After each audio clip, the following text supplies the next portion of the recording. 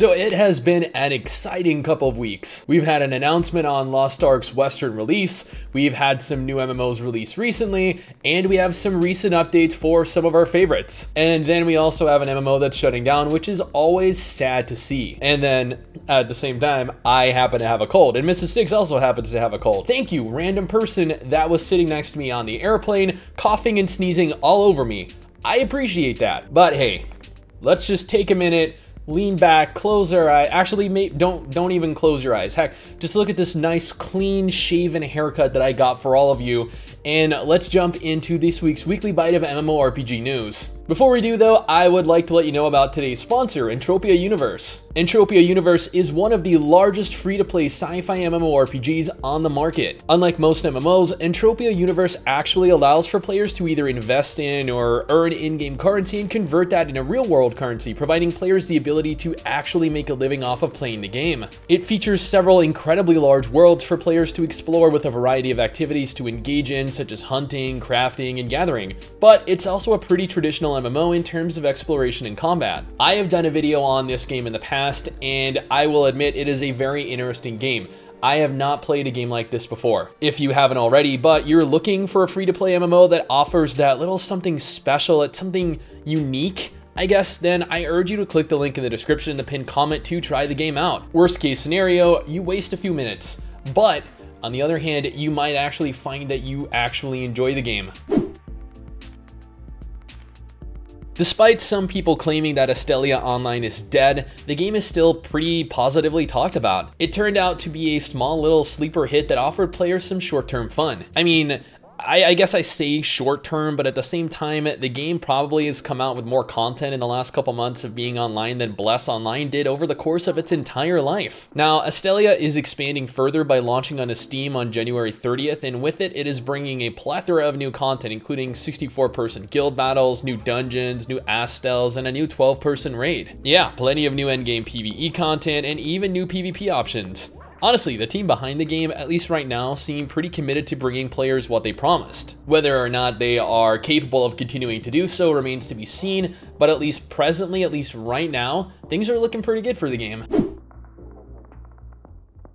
Now let's go ahead and talk about what is probably the most anticipated MMORPG of the next few months, Temtem. Mrs. Sticks did her full review of the first half of the game, it was posted just a couple days ago if you want to go ahead and check that one out. We'll also be doing a giveaway for two, maybe three copies of the game for those of you that are interested in trying the game out, but you can't afford it. Links to both will be in the description of the pinned comment below. As of this video going live, there will probably only be like a day or two left, so if you want to participate, make sure you go ahead and visit our website to join in while you can. Now, as for Temtem itself, the game had been in the process of running several stress tests all month to make certain the game could handle the influx of players when it launched into early access on January 21st. While there have definitely been some issues, trust me, there were. I'm a part of the subreddit. I saw it just absolutely filled with people complaining that they were getting disconnected, that the queues were just incredibly long. The game overall had a pretty solid launch if you don't count people complaining about the first day being filled with bugs, which, you know, is something that every MMO launch has. The game is buy to play, meaning that you'll have to pay a one-time fee to play it. Honestly though, from what I've seen of upwards of 30 hours of alpha gameplay and then a little bit of the early access as well, I can say that I am incredibly excited for the game and although the game is, as mentioned, upwards of $30 depending on your region,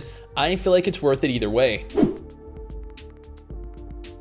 The last time I mentioned The Elder Scrolls Online, they had just announced their plans for the Dark Heart of Skyrim, which, I'm gonna be honest here, has reignited fan interest in the game. The Dark Heart of Skyrim specifically is a year-long story arc that is going to take place within Skyrim. It'll feature quarterly updates beginning with the Storm next month in February that brings with it a new 12-player trial called Kyne's Aegis and two new dungeons, Icereach and Unhallowed Grave, then Greymoor in May. Mrs. Sticks and I are actually beginning our journey through The Elder Scrolls Online currently, so hopefully by the time the DLC DLC launches, we'll be caught up and ready to play. And oh god, I'm actually beginning to lose my voice a little bit here. Unfortunately, there has been no information released regarding the two remaining DLC, but whenever ZeniMax reveals details, you guys will be the first to hear about it.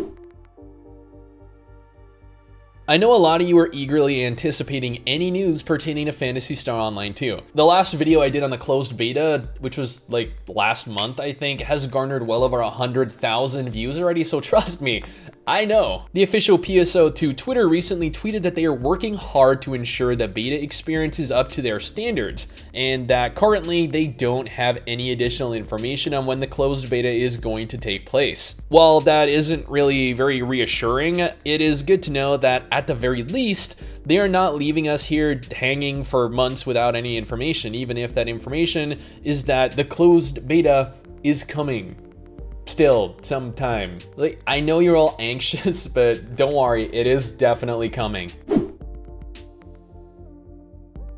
Now, I'm not sure how many of you ultimately ended up actually playing Guardians of Ember when it relaunched, let alone how many of you really even enjoyed it, but I did a series of gameplay videos on it, and really, it was not a bad game. Nevertheless, I received an email from Gameforge. Actually, I believe everyone that was playing Guardians of Ember received an email from Gameforge stating that the game was officially shutting down. The reasons behind the game shutting down weren't really disclosed, with Gameforge specifically stating the contract between Runewalker and Gameforge will not be continued. The game will be closing its doors next month on February 14th, so if you want to get in game and see what it has to offer before it closes for good, this is your chance. But then at the same time, I say closes for good, but knowing the MMO scene, this is probably gonna end up being like repurchased and relicensed and then like relaunched maybe a couple years from now, potentially under a different name even, who knows.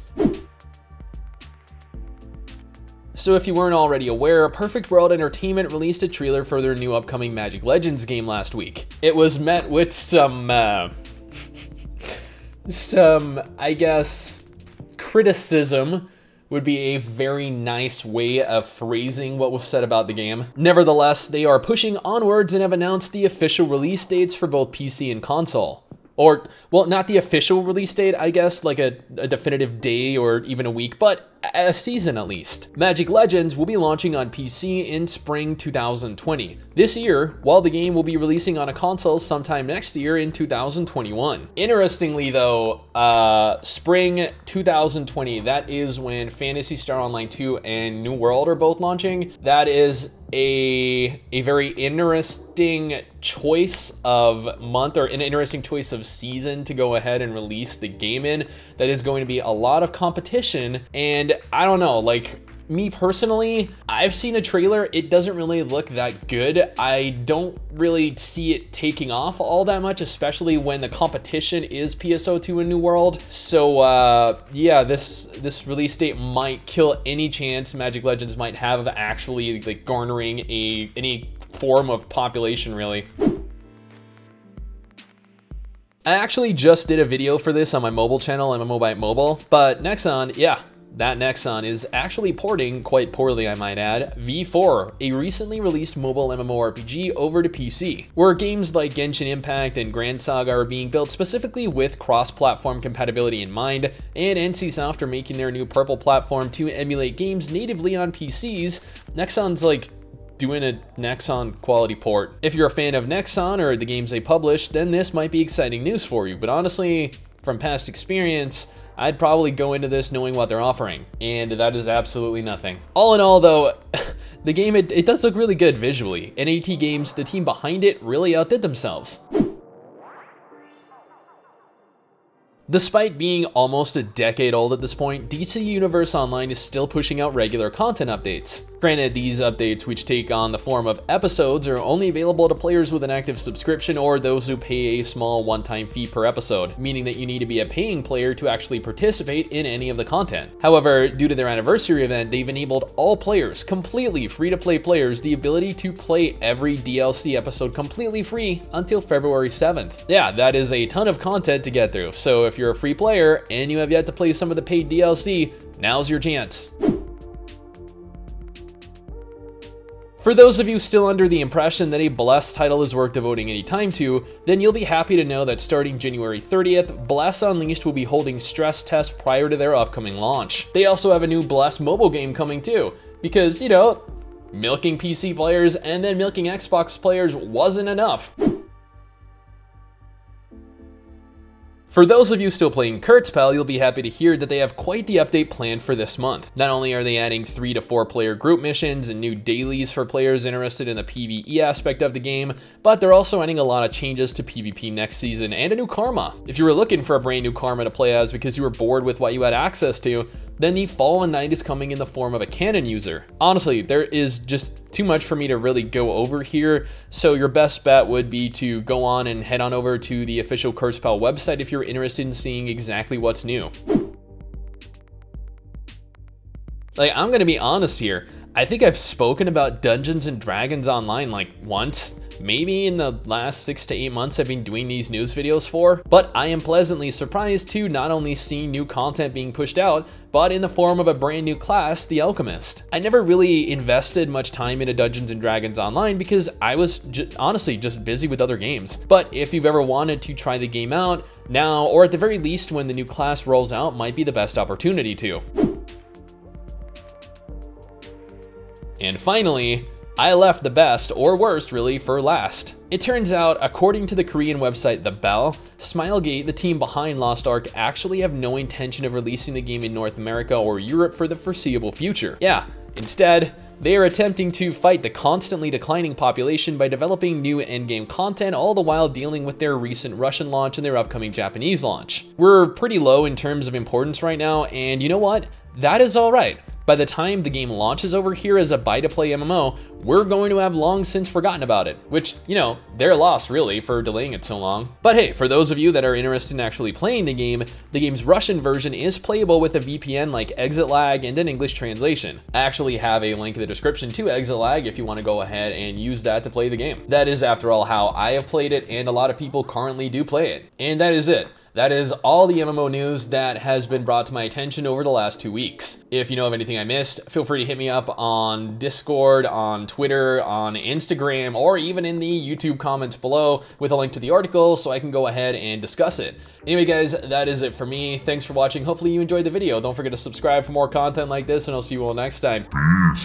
Peace.